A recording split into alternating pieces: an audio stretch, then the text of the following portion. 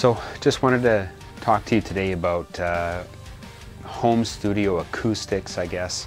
Uh, I'm not going to get into the science of it or anything like that, but my room here in particular, I just wanted to get some of the side reflections uh, taken care of.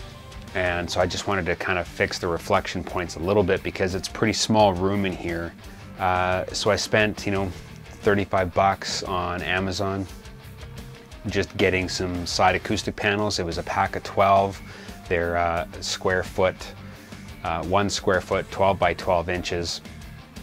And different designs, you can get all kinds of different designs on Amazon. Uh, as you can see here, um, all kinds of shapes and sizes. And uh, anyway, you know, if anything, if they don't do anything at all, at least they kind of look nice, right? I mean, it is an audio room, so let's try and make it look like one.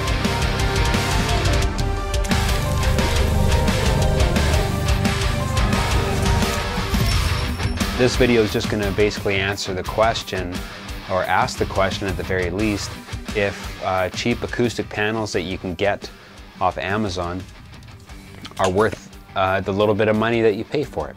Are they worth it or are they not? The way that we're going to find out is by using Sonarworks reference 4 studio and headphone edition. Um, I've got a measurement mic uh, with the software and I've been using it on my uh, Mac M1 Mini.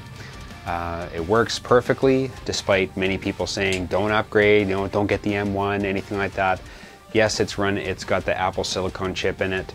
It's running the latest edition of Mac OS 11 uh, Big Sur, and I haven't had any issues with it. It's worked perfectly. I've done a measurement before hanging the panels, and I'll do another one after hanging the panels, and then you'll see what the difference is and whether or not it makes sense for you to purchase those for your own studio. Otherwise, let's get right into it.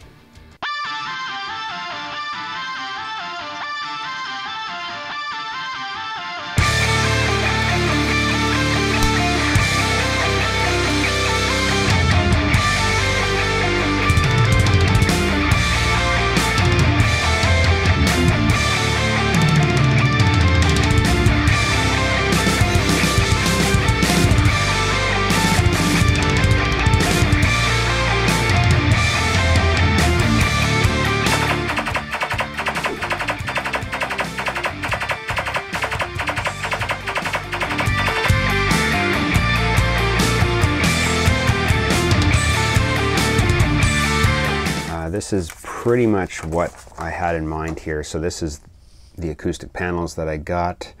So they're, they're pretty square. They've retaken their shape. Uh, this was a pack of 12 that I got to give you an idea of what my room reflections are like.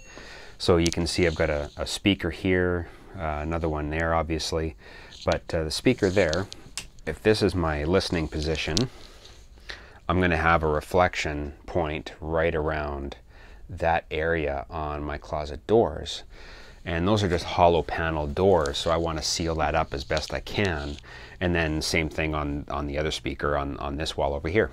And then uh, the other thing I wanted to do was just put a couple of um, a couple of those panels in between the guitars up on the wall there as well, just to put them across that's what I'm doing. I'm going to use these to hang them up and we'll see how easy that is.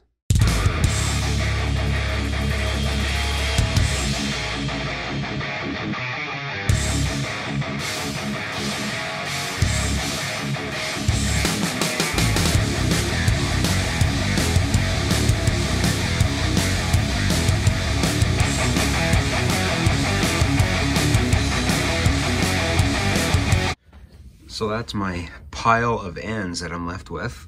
My reflection point on my right uh, against this speaker, so uh, bounces off of there. Maybe it'll dim some of it before it hits me over here. And then of course I've got uh, these ones up here in the top there, just between the guitars, and hopefully that'll help the rear reflection and yeah, oh, and then of course I've got uh, these ones over here too, um, just against the left speaker reflection, so hopefully that'll dampen. I'll do the Sonarworks reference 4, and we'll compare the EQ curves and see if that did anything at all.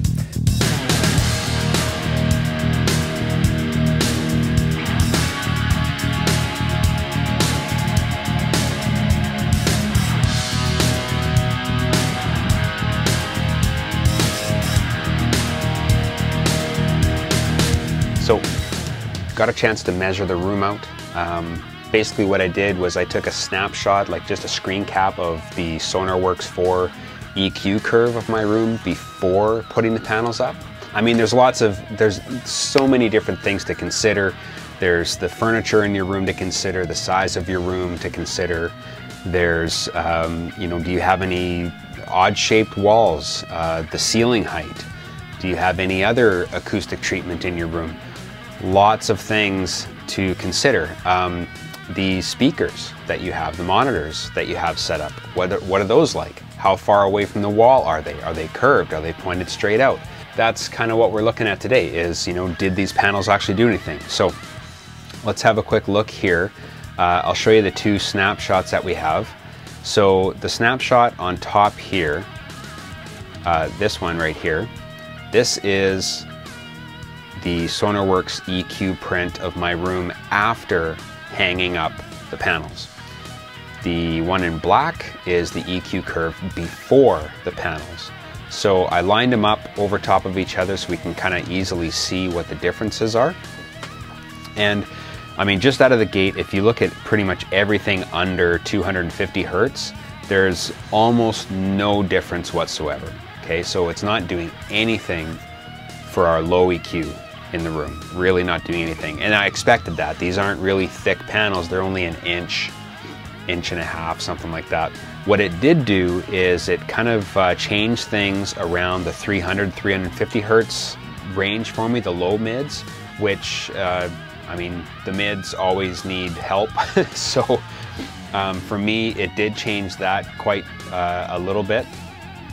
So you can see um, before the acoustic panels, if you look at the blue lines here, that's before, and then the green lines is the correction that's been applied. If you can see here right about 330 Hertz, right around there, um, I had kind of a, a little roller coaster thing happening here between 100 to 330. Went up, down, up, down, up, down. Uh, same thing after, but I lost that slope here, that little bump right around 330, uh, it nullified that. Um, the other thing is I noticed um, it smoothed out the right side, uh, which I wanted because the right side was actually the side that had um, the most reflection came off the closet on my right side. So I, I wanted to address that more than the left side. Uh, because the walls are a little bit different. There's a bump along the windowsill there, and I've got acoustic paneling hanging up on this side of the wall and I didn't really have anything on that side. So that's the area that needed the most correction. And so you, it definitely did that. Um, you can see that in the, in the EQ curve. It definitely corrected the right side more than the left. The left looks almost identical as it did before, but the right side looks a lot different. So after the panels, it didn't lose the mid-range as much as it had before. And then uh, if you could see to 1K here, uh, this slope is way steeper than this slope. So I, I didn't have a whole lot of mid-range happening before the panels, and it took a while for me to gain that 2-3D separation there. Again, this was all like mid-range correction, and that's fine. Uh, everything after, say, 3K, uh, didn't really do a whole lot. It did around 3 to 4K, but definitely after 5K up to 10K didn't change a thing, not a single thing. So that's fine. So answering the question, are the panels worth it? Well, that's really going to be up to you in your room because your room's going to be completely different than mine. It might do absolutely nothing in your room because you have a huge room and these panels are just too small to make any impact. In a smaller room like this, uh, they make a little bit of a bigger impact because, I mean, let's be fair, the square footage in this room is, is smaller, and so having 12 square feet of acoustic paneling on the reflection points is going to make a small difference, and that's great for me. So this is just to show you that whether or not they actually do anything, and it looks like they do. My room is about 100 square feet, not big at all, 10 by 10 pretty much, a square uh, and my ceiling's about eight and a half feet high. So is 50 bucks worth it? Again, that's all in the eye of the beholder. You can get them, you can hang them up, take a room measurement, see if they help in any way. Do I think they're gonna help my mixes in any way? Who knows? That's That remains to be seen. I'm sure it will make a little bit of a difference in the mid-range because that's what it kind of smoothed out a little bit. Um, I'll put the links in the description below so you guys can check these out and uh, order them if you're so inclined to do so. Again, this video is just showing you whether or not they actually do anything at all in a small bedroom studio, which in this case they do.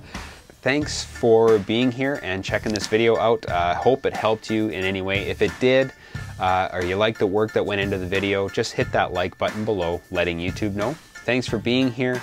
Uh, keep making music.